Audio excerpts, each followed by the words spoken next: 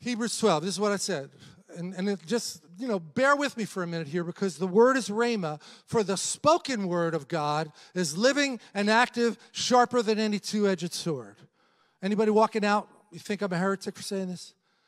The word of God, the Bible, that's how most of us would just look at this.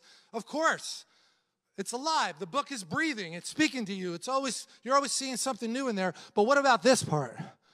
So the spoken word, the rhema of God, is living and active and sharper than any two-edged sword, piercing even to the division of soul and of spirit, of joints and marrow, and discerning the thoughts and intentions of the heart.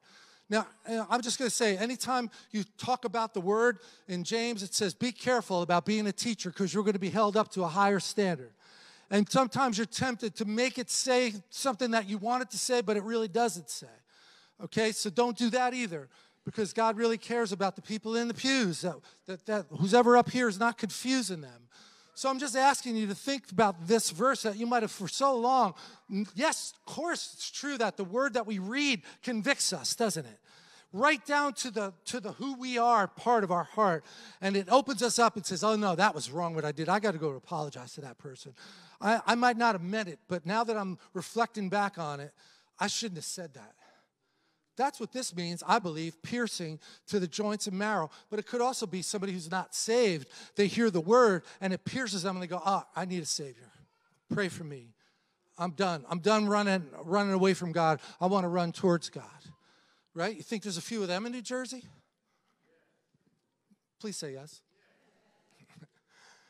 and here's an example Mark 14, 72.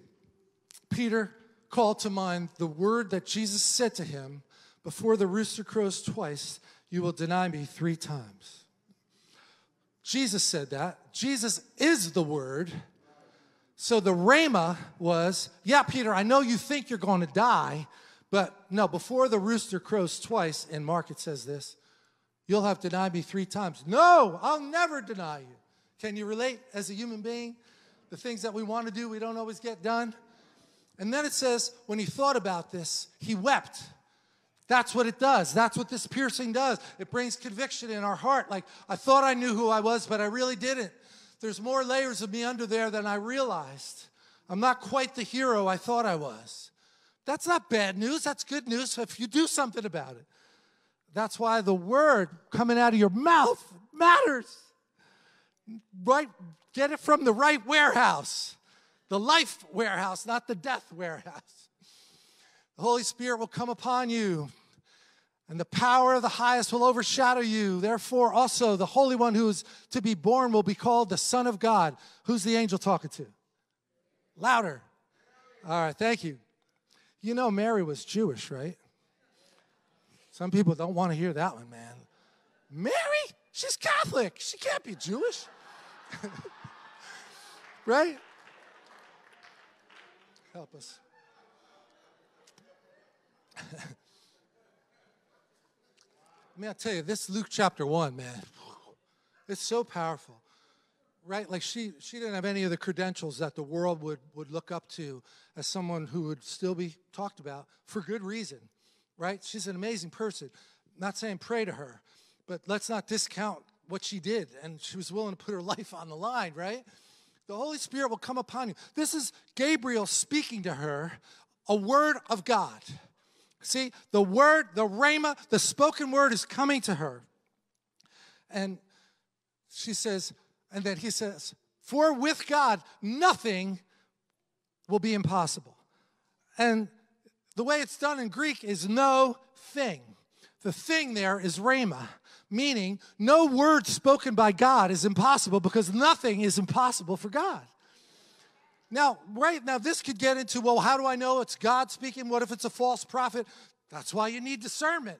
That's why you need to be in a house that's teaching you how to do this and trying to develop your gifts. And nobody does it perfectly, but if, if we're trying, if we're men and women that are after God's heart in everything we do, it'll make you a better parent, a better employee, a better boss, a better everything you do because you'll recognize, right, like humble yourself under the mighty hand of God. You're, you're not the big door prize you thought you were. There's still something else He can show you. And it's, it's the humble people that have the most impact. You know, because you can mix those two warehouses up pretty bad. You could be walking under the anointing and shift from one hair, one warehouse to the other. Yeah, and that's why the gifts of God are without repentance, right? So the person that still has the gift but shifts to the wrong warehouse looks like they're under the anointing, but now they're using that anointing for their own good. And that causes wreckage. When a man or woman of God goes off into the wrong direction, just a trail of tears behind that. So when they say pray for your pastors, they're not kidding. Because you're going to sit in that seat and listen. You better be hoping that me and Trisha are listening too. Or else you're going to get something that's from the wrong warehouse. but look at this, because in verse 18 it says, Then Mary said, Behold, the maidservant of the Lord, which we called unction when I was growing up as a Christian. I don't know about you. You know what that word means? Unction? Anybody? Okay. An anointing. I felt the unction on that word. And that's what she's doing. Like, it's spectacular news, but very hard to grasp for a teenage girl to think that God is going to impregnate her. This is not your normal day that you just go through. Like God just shows up in the form of Gabriel and says, I'm going to be the mother of God in the earth. Like I need a little time to process that one. But she did it.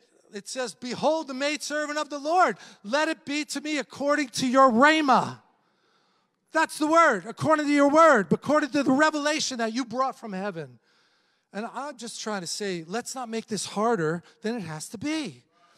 He's a good father, right? If your father was teaching you how to ride the bike, he's not yelling at you when you fall, hopefully. if you are, come up for prayer. If you're one of those people, there's probably a root in there somewhere, right? Like, no, a good father the kid, you'll pick the kid up and you'll get him back and try it this way, try it that way. That's what God does. He wants to see that we're that we're men and women after his heart, that we want to know the heart of God. And just that we're hungry and thirsty for righteousness, that person will be filled. But that fire will also be burning brighter as well. You know, recent men's ministry, that's one of the things. How do I keep from plateauing? How do I stay excited about reading the word? Well, keep coming to these men's studies. That will help. Do what David said get four other, five other people that you're going to be willing to be accountable to and hold each other accountable. And, and what's going on in your life, that's so powerful to have that in the body of Christ. So I'm going to just remind you that it said in James chapter 3, 1, I'm sorry, chapter, yeah, I think it is 3 1. That's a, mis, that's a typo. Teachers are to be held to the strictest standards, right? So we're not taking this lightly when we're up here with a microphone in our hands, or anybody that we bring in here. We're not taking this lightly that, that you can let your guard down and receive what they're telling you, like what Manny said about Robert Henderson, that, that it's going to have life in it. But I'll leave it at that.